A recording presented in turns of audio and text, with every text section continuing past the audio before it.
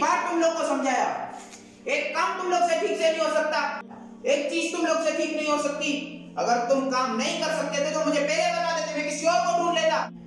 तुम यहाँ क्यों खड़े हो? वो वो वो कुछ नहीं। तो तुम यहाँ क्यों खड़े हो? जाओ अपने कमरे में। और तुम्हें मैंने बोल दिया ना मुझे नहीं करवाना तुमसे कोई काम। तुमसे एक काम ठीक से नहीं हो सकता।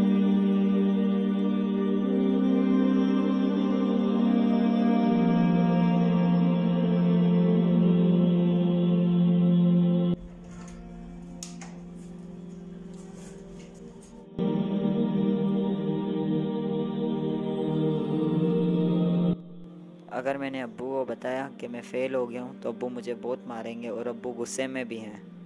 अब्बू को मेरा रिज़ल्ट आया। और मैं फेल। क्या। फेल हो गए हो। कितनी बार तुम लोग को समझाया पड़ा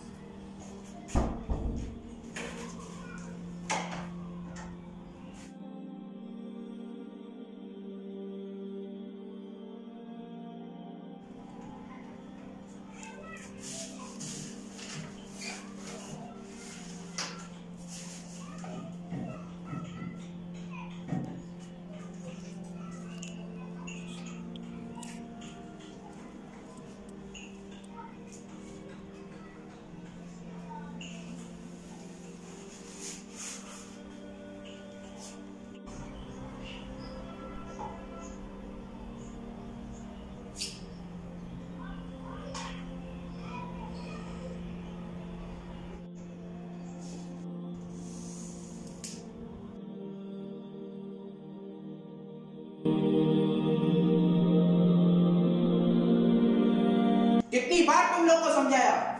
एक काम तुम लोग से ठीक से नहीं हो सकता एक चीज़ तुम लोग से ठीक नहीं हो सकती। अगर तुम काम नहीं कर सकते थे तो मुझे पहले बता देते मैं किसी और को ढूंढ लेता।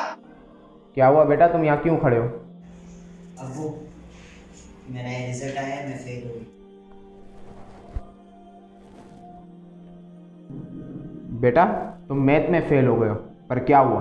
तुम उर्दू में अच्छी हो इंग्लिश में अच्छी हो और एक तुम्हें और बात बताऊँ, तुम एक और चीज़ में बहुत ज़्यादा अच्छी हो। चलो तुम्हें दिखाता हूँ।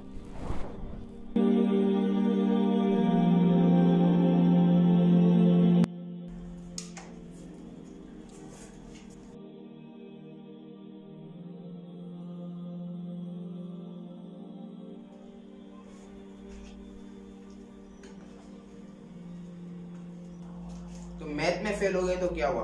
बाकी ये सब चीज़ें तो तुम बहुत अच्छी कर लेते हो। अब्बू मैं कोशिश करूँगा, मैं में भी ना अच्छा बनूँ। शाबाश। सब कुछ इंसान के अपने हाथ में होता है कि आप हालात को किस तरह संभालें।